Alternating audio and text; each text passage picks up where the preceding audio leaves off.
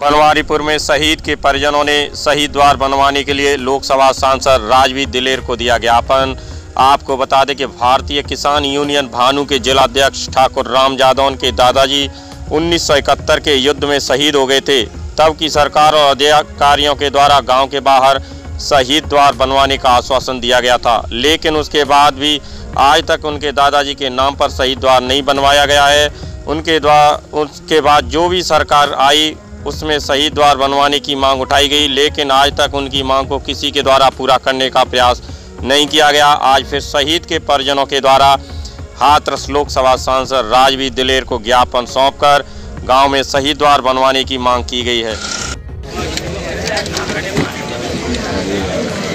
इस मंगलवार को दो घंटे बैठूँगा कार्यालय बनाया डाल देंगे वहाँ में डाल देंगे ना दो घंटे किस संबंध में दिया है। ऐसा है मैं राम ठाकुर यादव खातर भारतीय किसान मालूम। आज जो विषय है जो हमने ज्ञापन दिया है वो शहीद स्मृति द्वार के संबंध में ज्ञापन सांसद जी को दिया है।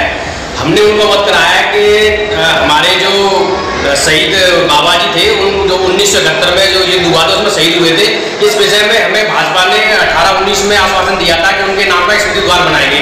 लेकिन अभी तक उसका कोई ना तो यहाँ कोई देखने आया कि द्वार बना ना ज़मीन निर्माण करी ना कुछ उसको बताया।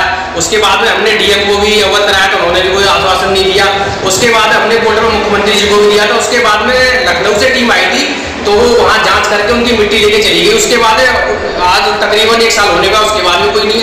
इस वजह से हमने उनसे सांसद जी से अपील की है कि हमारे जो दादाजी जो सन उन्नीस में शहीद हुए थे, उस वजह से उनके नाम से एक स्मृति द्वार या ग्राम पंचायत बनवारीपुर में एक उनके नाम का शहीद पार्क बने इस विषय में हमने माननीय सांसद जी को ज्ञापन दिया था।